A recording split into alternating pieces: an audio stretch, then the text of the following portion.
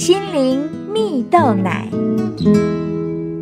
各位听众朋友，大家好，我是刘群茂，今天要跟大家分享，在爱人之前，先爱你自己。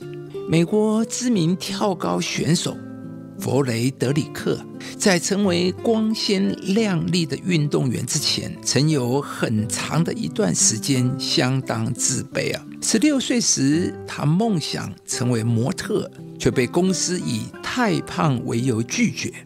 使他身心受创，进而转往运动发展。弗雷德里克本想透过运动赛事让自己出名，他也曾两次获得运动会的跳高银牌，但在运动场上放眼望去，他仍是最矮、体重最重的跳高选手，因而。不断的被嫌弃呀，为此啊，在二零一六年首次参加奥运训练时，坚持非常严格的饮食习惯。起初啊，每天只吃三餐，而且每餐量都很少。以运动员来说，营养是完全不足的。尽管奥运。并没有限制参赛选手的身高体重，参加基准完全取之于能力啊！但是弗雷德里克所出的生活圈依然充满着攻击性的言语，而这一切直到他遇到了一位对的教练，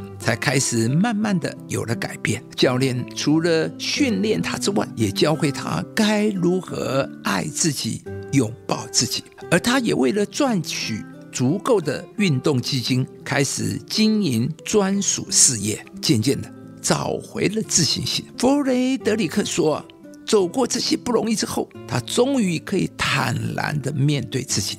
回首过去，他不否认自己曾有的那些痛苦想法，但如今他已不在乎他人对自己的看法，并且在各方面找到自己的价值，而他也可以爱他自己了。”亲爱的朋友。你真实认识自己、爱自己吗？故事中的弗雷德里克，从追求他人眼中的标准，而让自己深陷在痛苦中，甚至影响了他的健康，但却在一次转机中认识自己，也爱自己，甚至有了往前的目标。在圣经上有许多地方都表达着上帝爱人的心啊，譬如耶稣说。要爱人如己，也就是说，当你懂得爱自己，你才会懂得爱别人。你会珍惜自己，才会珍惜别人。一个会饶恕、原谅自己的人，才会饶恕、原谅别人。除非你先有爱，也被人被自己爱，你才会有爱的能力去爱人，你也才会懂得如何去爱人。这就是为什么耶稣教导我们。要爱人如己，亲爱的朋友。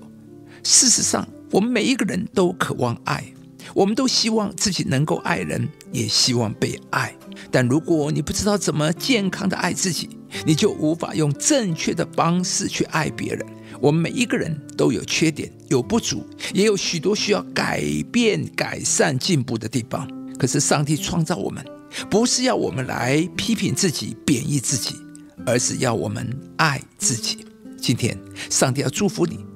当懂得如何跟自己相处，就能够爱自己，你也会知道怎么跟别人相处。